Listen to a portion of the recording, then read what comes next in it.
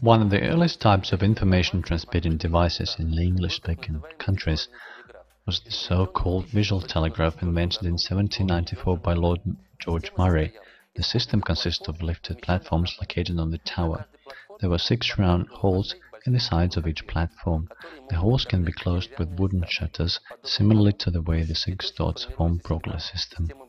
These shutters can be moved to closed or open positions by the rods from the control desk, creating up to 64 combinations in this way.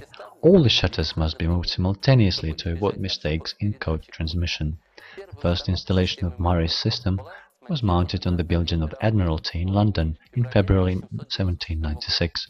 However, as sunny days are rare in London, the telegraph worked not more than 25 days per year. Nevertheless, the similar systems became rather popular in Europe. This kind of installations existed in the Netherlands and Germany.